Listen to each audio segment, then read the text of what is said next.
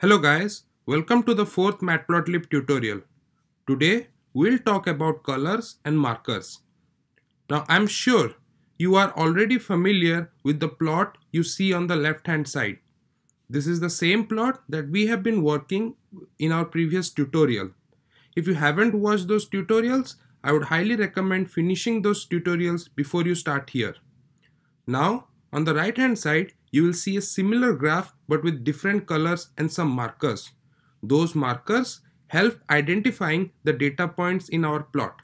So today we'll learn how to change the color of a plot and add markers to our plot for better visualization. Let's go back to our previous example.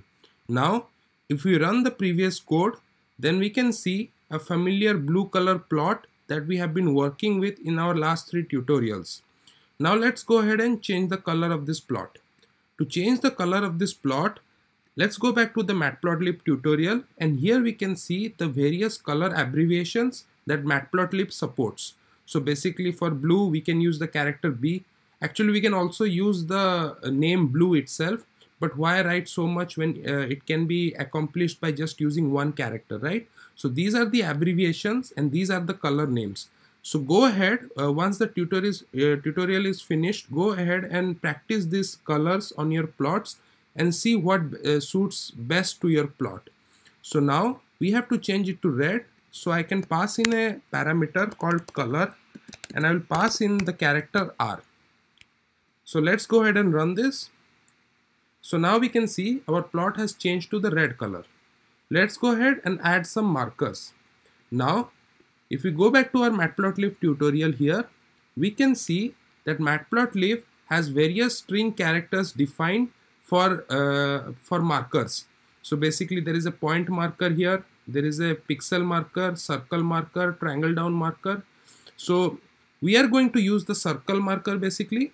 So here I can pass in another parameter called the marker and then I'm gonna pass in small o which is basically the character uh, denotation of circle marker. Now when I go ahead and run this you can see that we have markers here in our plot and these markers are actually better because they help visualizing the data in a much better way right so this is how you basically change the color and add markers to your plots in matplotlib now there is one uh, more extra thing. It is called the uh, marker color basically. So basically uh, uh, to have even better visualization, we can change the color of the marker.